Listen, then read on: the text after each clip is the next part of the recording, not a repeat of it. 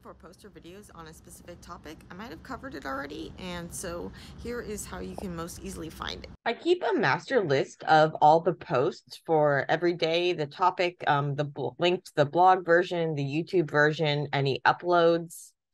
If you just are interested in videos, you can search um, my YouTube channel. If you go, I've tried to organize things into some playlists um, some of them are more helpfully organized than others in terms of like more specific and things like this. Some of the videos are really old um, and aren't so great, um, but they you can search them all here as well as just um just searching my channel in general if there's a um a specific topic you are interested in. You can also search my blog, The Bumbling Biochemist. Um, so if you're looking for something specific, I might have contact on it, and so you can search it in here. Um, and if you go to Let's Talk Science, here you can find posts organized on a variety of different topics. Um, so this includes like a page of lab techniques. If you're more specifically looking for things about protein expression and purification, I have a whole post on that. Um, structural biology, I have posts on those. Mammalian cell culture, random practical lab tips and tricks, um, things about like school and training and postdocs and all of this stuff. Um, random practical posts on various things. If you want more resources outside of what I provided, um, I have a page with a guide to resources that I found really helpful. One of the nice things about viewing posts on the blog is that the terms are connected to a glossary. And so if you click on a term um, in the context of an article, or if you scroll over the term, um, it'll basically pop up the definition or my description. And if you click on it, it'll take you to the um, to the blog version.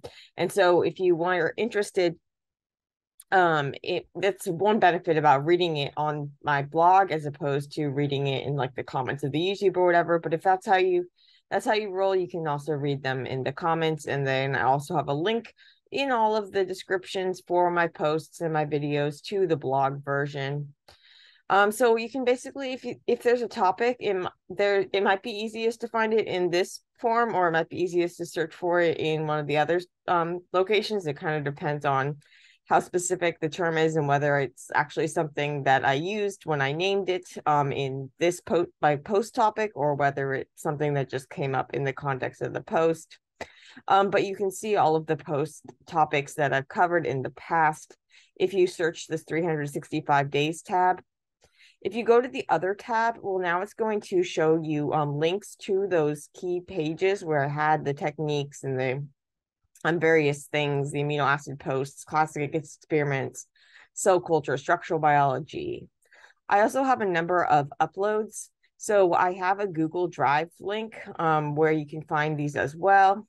So in addition to finding this 365 days of science, which is the guide to what I'm showing you now, I have a variety of uploads, um, various things about concentrations, determination, um, tips for um, using databases and some of my favorite tools and things about Python, staying organized, cloning, um, formulas, various spreadsheets and things like this. And so you can find that and the BB resources um, in the Google Drive.